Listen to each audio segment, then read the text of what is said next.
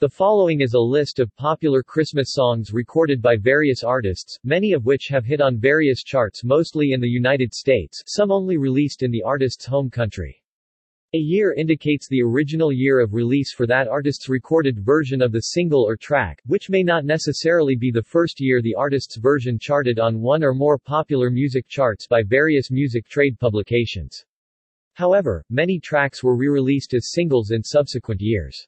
Parodies radio personality Bob Rivers has written countless Christmas parodies. Some of the most notable include The Twelve Pains of Christmas and The Restroom Door Said Gentleman. He has also written some original humorous holiday songs, including The Chimney Song. These have appeared on, as of 2006, five albums, Twisted Christmas, I Am Santa Claus, More Twisted Christmas, Chipmunks Roasting on an Open Fire and Christmas. Da Yoopers released Rusty Chevrolet in 1986, with lyrics written by Jim DeCaire and Joe Potila used with the song, Jingle Bells. The comedy duo of Stan Boreson and Doug Setterberg reached number 10 on the Billboard Christmas charts in 1970 with Christmas Goose, Snowbird, a parody of Anne Murray's Snowbird. Homer and Jethro parodied the song, All I Want for Christmas is My Two Front Teeth as All I Want for Christmas is My Upper Plate, on their 1968 album Cool Crazy Christmas.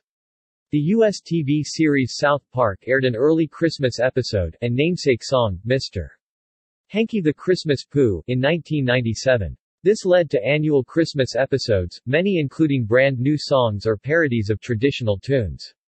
An all-music sing-along Christmas special was hosted by Mr. Hanky and a full-length album of the new Christmas classics from the series was released, along with videos for all the songs.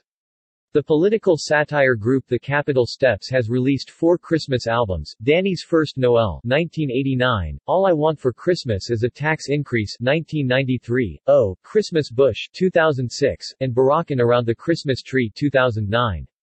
In addition, some of their other albums contain parodies of Christmas songs.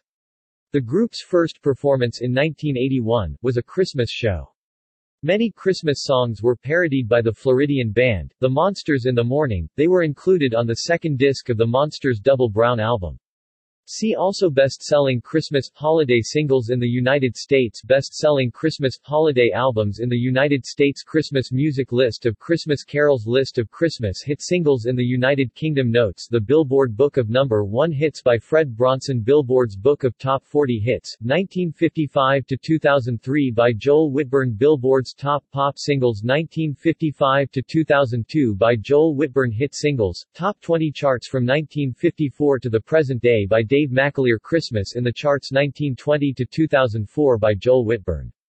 Record Research Inc. 2004 ISBN 0-89820-161-6 References